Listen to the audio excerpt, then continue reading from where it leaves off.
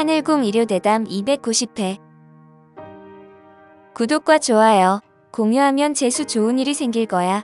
나잇 나우 우리가 허경영을 만나고 하늘궁에 찾아온 것은 백천만 검난조우 하늘의 별 따기와 같다. 여러분의 수명은 무한대다. 영혼은 영원하다. 이것을 직접 보여주러 내려온 사람이 바로 허경영이다. 나중에 천만 명이 백궁에 갈 때 왜 저 사람들만 가냐고 물어볼 때 모든 인간에게 똑같은 기회를 줬지만 다른 사람들은 다른 짓을 한 것일 뿐이다. 천만 명은 백궁 관리를 한 것이다. 쌍둥이의 성향이 사주팔자가 같은데 다르다. 한 명은 분노 지향주의 한 명은 미래 지향주의자다. 이것은 사주팔자와 상관없이 천성이 있다는 것이다. 사주팔자로 보는 것은 정확하지 않다. 문제 지향적인 사람들이 하늘궁에 올 수는 있다. 그러나 그 사람들은 나중에 나가게 된다. 이런 사람들은 말이 많고 불만이 많다. 허경영이 당선이 안 되었다고 뭐라고 하는 사람들이 있는데 항상 선거인은 당선 지향적으로 말해야 한다. 허경영은 당선이 된다고 거짓말을 한 것이 아니다. 출마한 이상 반드시 붙는다는 마음가짐과 말로 이야기를 해야 한다. 미래 지향적이기 때문이다. 이것을 거짓말이라고 말하는 것은 어불성설이다.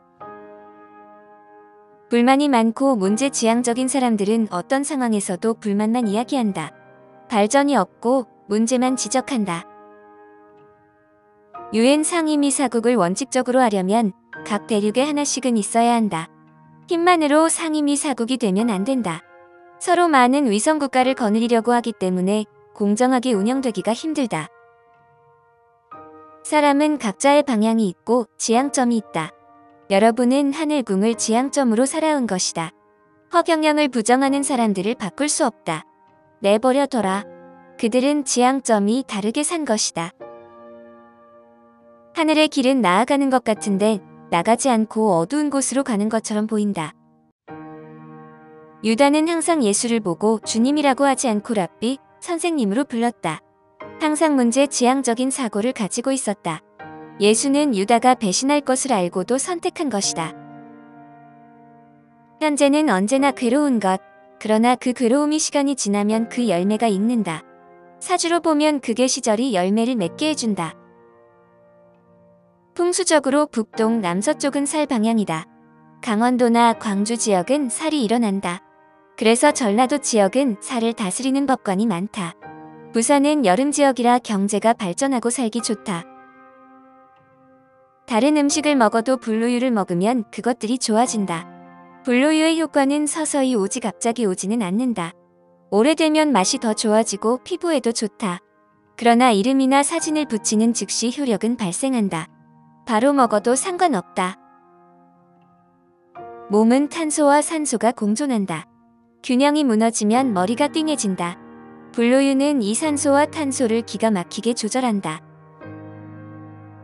운동선수는 산소를 너무 많이 집어넣어서 산소가 자기 몸을 파괴한다. 그래서 오래 살지 못한다.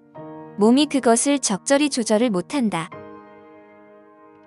정신적인 산소는 활성산소가 안 나온다. 물질적 산소는 불로유가 정상으로 만든다. 허경영을 따라가면 정신적 산소가 풍부해진다. 불우유를 먹으면 정신도 좋아지고 육체도 좋아진다. 허경영이 하란 대로 살아야 된다. 조상으로부터 봉투를 받는 꿈은 돈을 받는 꿈이다. 반대로 조상이 무언가를 뺏어간다면 좋은 꿈이 아니다. 이런 꿈은 예지몽일 가능성이 높다. 조상의 덕을 받는 꿈이다. 부모의 사랑은 대부분이 겪어봤다. 근데 형제가 없는 사람들은 형제 사랑을 겪지 못한다. 이런 외동아이들은 부모가 돌아가면 무너지는 경우가 있다. 정서가 불안해질 수 있다. 이런 아이들은 극단적 이기주의자들이 될 수 있다. 신인은 예배가 필요 없다. 허경영 얼굴 보고 말 듣고 하는 것 자체가 예배다. 어떤 종교에서 하는 예식은 여기서는 필요 없다. 가능 지향적인 사람은 항상 가능성을 가지고 있기에 불가능한 것도 가능해진다. 불로유는 끓여도 그 덩어리가 유지된다. 치즈같이 늘어지지 않는다. 이것을 음식과 섞어서 먹어도 좋다. 허경영 우주에너지 제품은 역시 본전